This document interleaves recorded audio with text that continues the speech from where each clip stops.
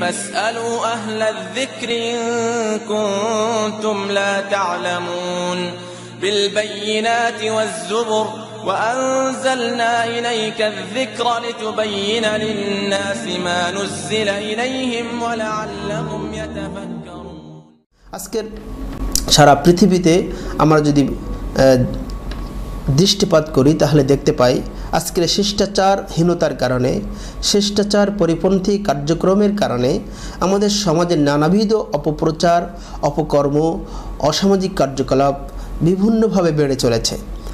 পারিবারিক ব্যক্তিগতভাবে যদি আমরা দেখি, তাহলে দেখা যাবে ব্যক্তিগতভাবে মানুষের মধ্যে শিষ্টাচারের লেশমাত্র বর্তমানে খুঁজে পাওয়া যায় না।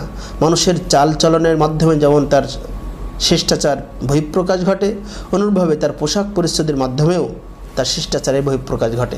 সম্মানিত দর্শক শ্রোতা মণ্ডলী, একজন মানুষ কীভাবে কথা বলবে? একজন মানুষ, একজন মানুষের সাথে কীভাবে চলাফেরা করবে? একজন মানুষ তার প্রতিবেশী ভাইয়ের সাথে কেমন আচরণ করবে? এই সার্বিক বিষয়গুলো শিষ্টাচারের অন্তর্ভুক্ত।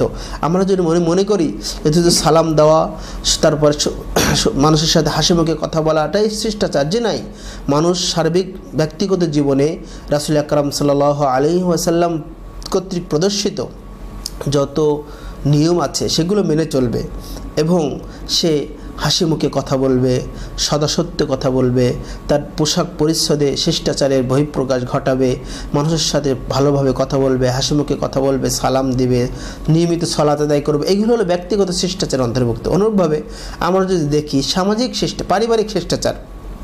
পারিবারিক শিষ্টাচারের ক্ষেত্রে একজন সন্তান বর্তমানে মা বাবা মা বাবার কথা শোনে না, আবার বৃদ্ধ বয়স হয়ে গেলে, বৃদ্ধ হয়ে গেলে সন্তান মা বাবাকে দেখে না। বড়ই দুঃখজনক কথা, বড়ই দুঃখের কথা বর্তমান সমাজে। আজকের এই পরিবেশটা অহরহ ঘটছে। আজকে বৃদ্ধাশ্রম তৈরি হয়েছে। আজকে আজকে বৃদ্ধদের জন্য আবাসিক স্থান তৈরি করা হয়েছে। সন্তান সন্ততিদের কাছে বৃদ্ধা, বৃদ্ধ, বৃদ্ধা মা বাবার জন্য কোনো স্থান নেই। অথচ ইসলামে, ইসলামী শরিয়াতে বৃদ্ধ পিতামাতার সাথে কেউ কীরূপ আচরণ করতে হবে? এটা স্পষ্ট আল্লাহ রব্লা বলেছেন। আল্লাহ বললেন ওকদা রব্বুকা আল্লাহ তাবুদু ইল্লা ইয়াহু অবিল ওয়ালিদাইনি হেসান আল্লাহ রব্বুল আলমিন এ আয়াতে পবি- সর্বপ্রথম আল্লাহর ইবাদতের কথা বললেন। আল্লাহর ইবাদতের ব্যাপারে নির্দেশ দিলেন। দেখেন, আল্লাহ সৃষ্টি করেছেন মানুষকে তার ইবাদতের জন্য। তিনি প্রথমে তার ইবাদতের জন্য নির্দেশ দিলেন। আর ইবাদতের পরে যে বাক্যটি তিনি ব্যবহার করলেন, সেটা হলো তুমি তোমার পিতামাতার সাথে এহসান ব্যবহার করবে, সৎ ব্যবহার করবে।